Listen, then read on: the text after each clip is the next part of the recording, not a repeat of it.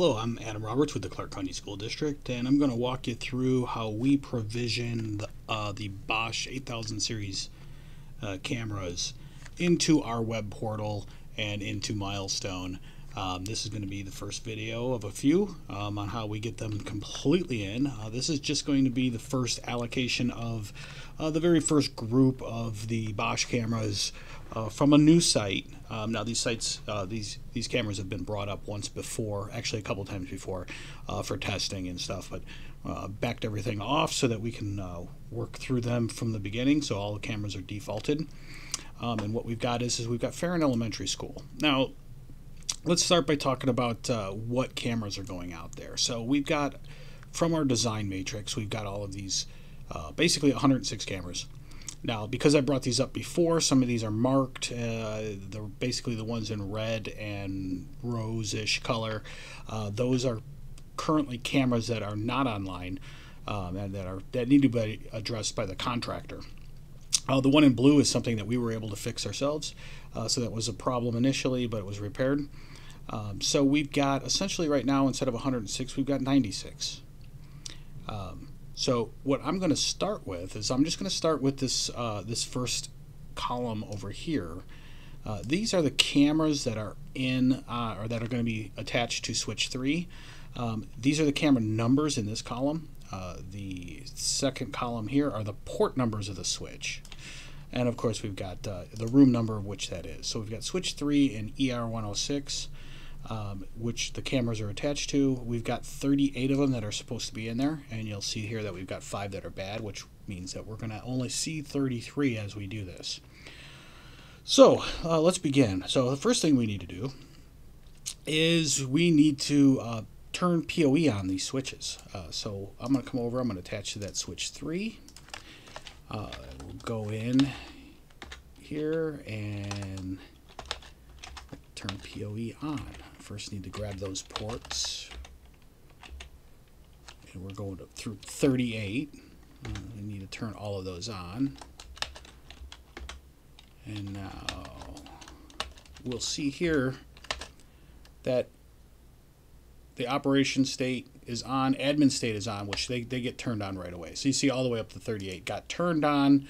Uh, there's some power that's pre-allocated towards it.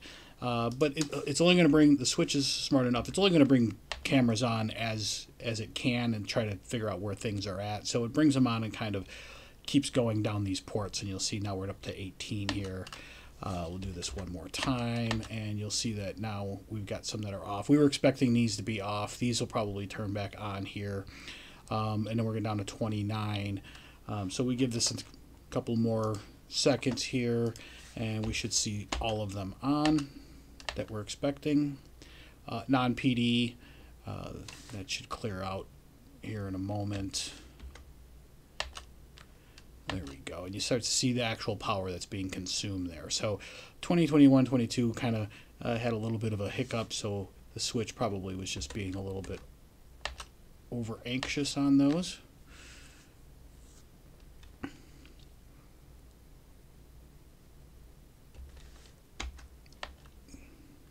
There we go. Now we should see uh, one, two, three, four, four that are off. Uh, we might have a contractor out there looking into these right now too. Uh, uh, actually, oh no, the one that was in the rose actually was getting PoE, but it didn't have any link. So uh, we've got those four and then probably that fifth one. So let's go over and take a look at our DHCP and uh, we'll refresh here and we've got 33 so you see how they grabbed them all in order here from DHCP so we've got 101 through 133 so we've got those 33 cameras uh, that grabbed IP addresses now let's go over to configuration manager and let's see if we can find those. I've already put the IP address in because we knew uh, what we were going to be looking for here. So let's see if we find them all. 33 devices total. That's that's great. So now let's configure those. Um, I'm going to go ahead and select all. I've got one device selected that should update here 33 devices selected. So the very first thing that we need to do is we need to come over to general and we need to set that service password. So I'm going to do that right now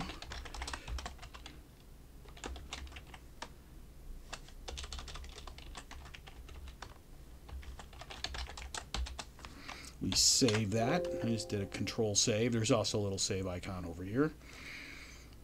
Now that that's saved, um, we have to then we have to set the authentication. Now this is something that I've talked with Bosch about already that hopefully that they fix here in the future is that when I set the password, that password should automatically set to the authentication piece so that I don't have to uh, basically double work here and, and come over here and now I have to set this again. Well, I just set it. We're in the same application. It should be smart enough to know this.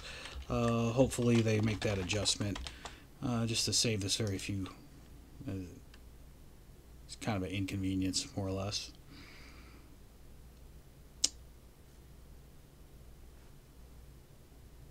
So we should start to see these. Actually, I'm going to run a refresh here. And we should see those turn yellow with the yellow exclamation point. That's good. That means we're, we're authenticated, uh, but there's a problem with the certificate, uh, which has a self-signed certificate. That, that's all good. Um, it brought me over to networking. It's convenient this time, um, uh, but because I need to turn basic authentication on.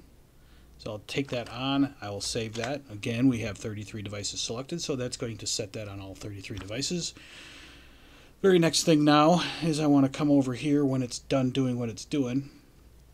And I want to set the uh, network settings. Um, now, it, it, it's convenient here that it came up with actually the right IP address range and settings that I want to set these at. Now, it might not have known that, uh, but down here in my design matrix, um, I have already set the pre-allocated what these are, devices are going to be. So 1086, 138, 101 through 138. And then the next one gets the next group based on how many cameras are there, and so on and so forth, as you see here. So I know what IP addresses are going to be assigned to what group of devices. Now, I don't know what cameras are going to get what IP address. That's going to come up later. We're going to do a mapping with the switch here, but um, we'll do that from our web portal. But we've, we've got to get to that point still. So let's set that IP address.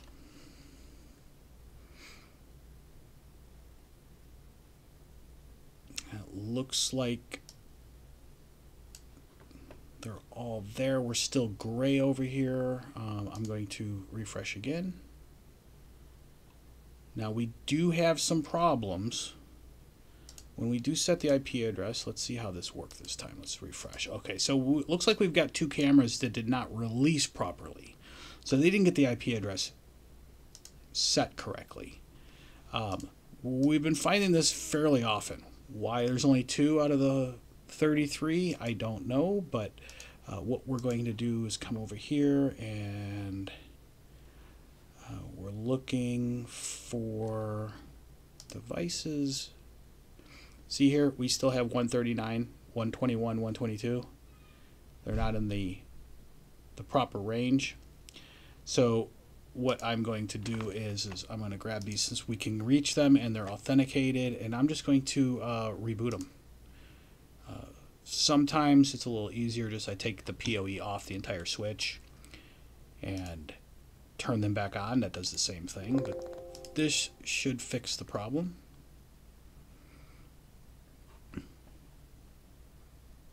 We'll give that a minute to reboot. Okay, we should be able to do a refresh here and hopefully that, uh, finds those devices. There we go. Uh, so they got there was 112 and 113 is what they were supposed to be. As you see, I still had them highlighted. So, okay, we've got that straightened out. Um, of course, that's gonna we're gonna note that problem in our problem sheet that uh, these devices don't always get their IP addresses as the way that they're designed.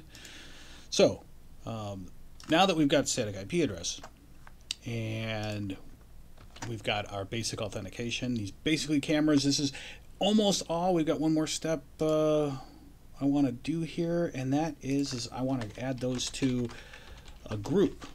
Um, So this is a new group. It's not in my list right now, so I'm going to create this one here. It's uh, Ferron Elementary School, and the site code for that is 0525.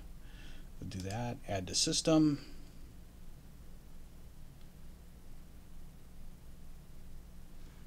Now let's go over to my devices,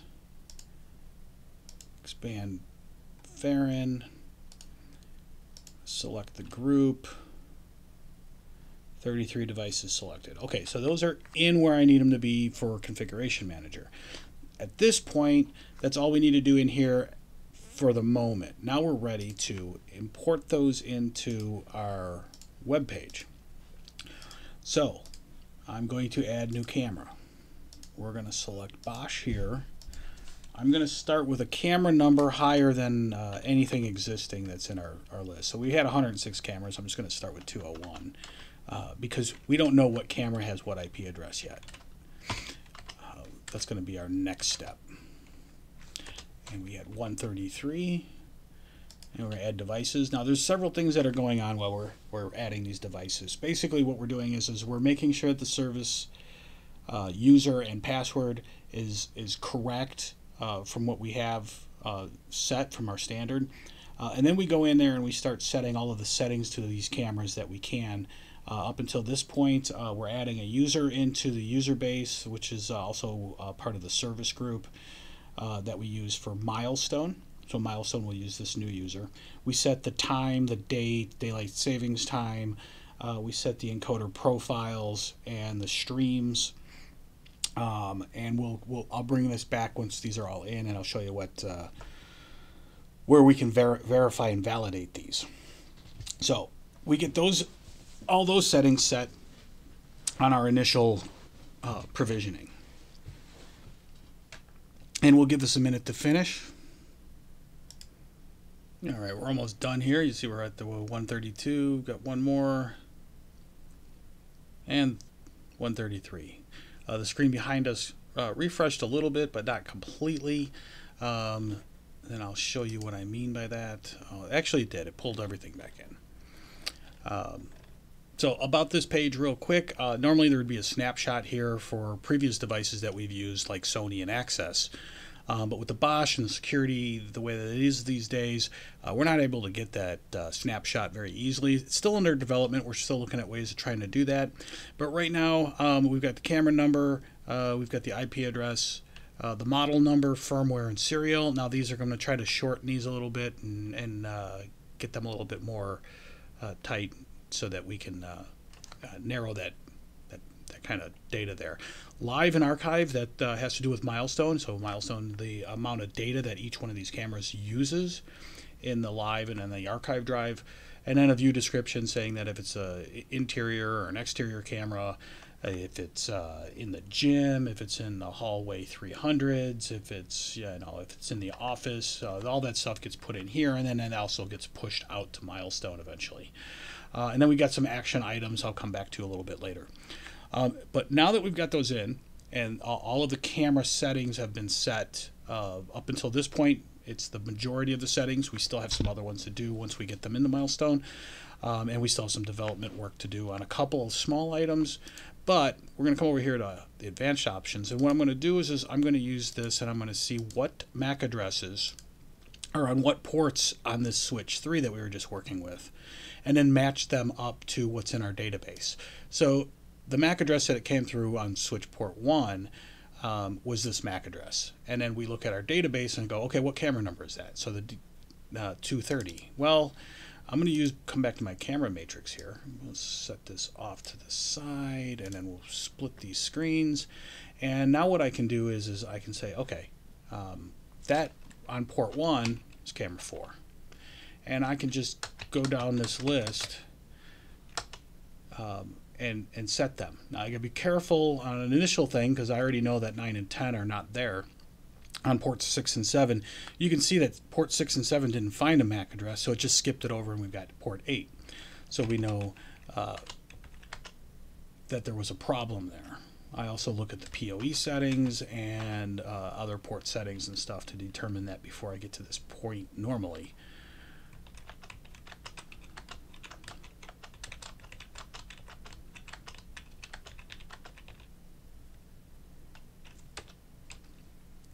see, 26 of 23, yep.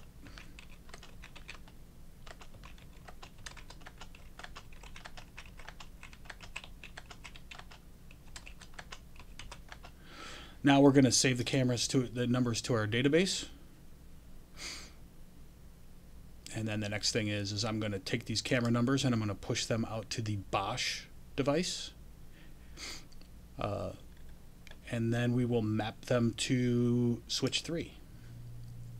Now this is just a warning saying that you didn't have a number in there because that's actually an APC uh, UPS that's there, that's plugged in on that port.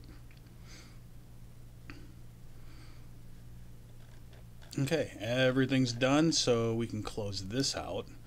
I'm going to go ahead and expand this now. We're done with that uh, spreadsheet for this step. Uh, come back over to our camera list. I'm going to refresh the page so it re-reads these camera numbers from the database, and there are all our camera numbers. Now let's go check, make sure that they uh, it happened on uh, on our our web page, right? And we had here. Okay, oh, that's what I'm looking for. Um, now I'm going to select here, select the group, select the group again, and then reload. And there are all our camera numbers, and the site number is uh, on there as well, so that we know what camera number and where it's at for Ferron.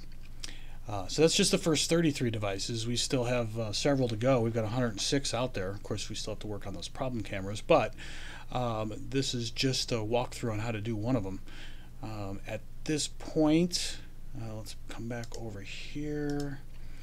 Uh, we're pretty much done with this. And the next, very next thing that we're going to do is we're going to, uh, in normally the next step, I'll make a different video for pushing out the uh, cameras and installing them in the milestone.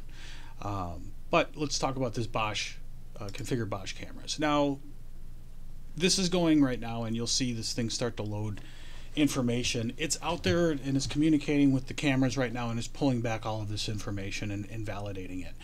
Now, if the information is wrong, it would be in that rose pinkish color uh, that you see where it's when it's blank, saying that it's wrong. So it's being highlighted. Once it pulls the data back and it validates that it is in the format that we expect it to be in, it turns it white. Uh, so we expect to see everything now because we just provision these cameras to be in white. Now in the future, um, if we have to replace a camera or, or something goes wrong with the camera and, and it loses its settings, um, we would come into this part of the application to push those settings back out for that for a particular camera.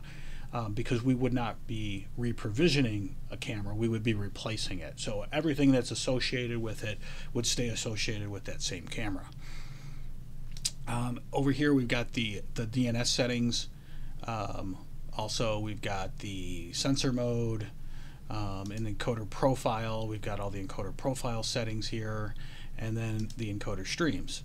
Um, so these are all set right now. If we needed to push one out, I come over here and I say set, and you see that message came back with encoder streams are configured. So it, it actually re-pushed those settings out, even though they were the same. Um, that's how we can do that. So that's it for this video. Um, there'll be a few more coming up. Um, I hope you enjoyed it, and we'll see you on the next video.